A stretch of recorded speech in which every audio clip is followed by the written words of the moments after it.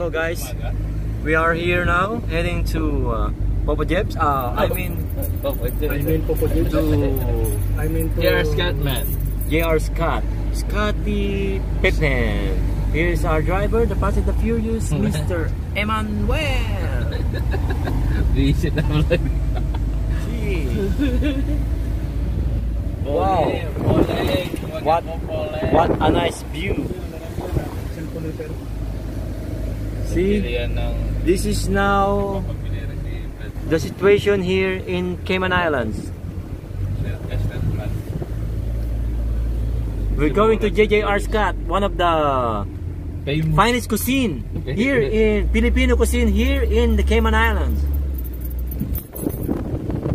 All right. Yeah, man. We are now close to JJR Scott, GG. right there. Right there. Right Yeah. there.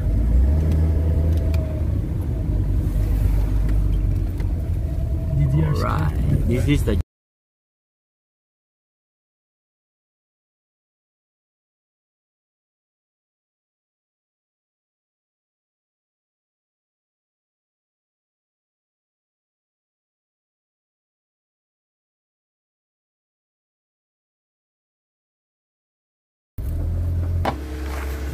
Ito po ang mga gwapo ng Cayman Islands.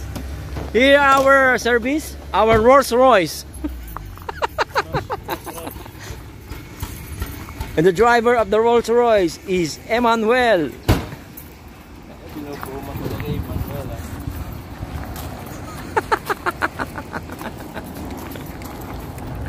Emmanuel, madlang awa.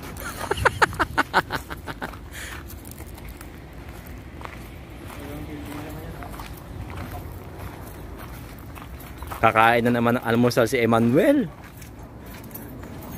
Emmanuel.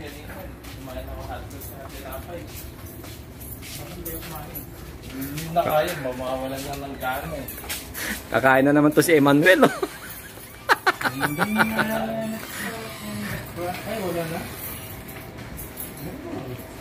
Hello. Wag Siya po maglilibre sa amin. Ito, nilibre namin. Boleng. Emmanuel. Ay, wala pa kayong ano. Ito po si... Si Sir. Sir Kuya. Kuya Johnny. Kuya Rapi.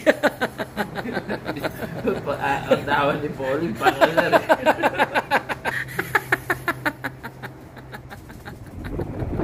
We are now heading to Camana Bay. We're going to Camana Bay, man.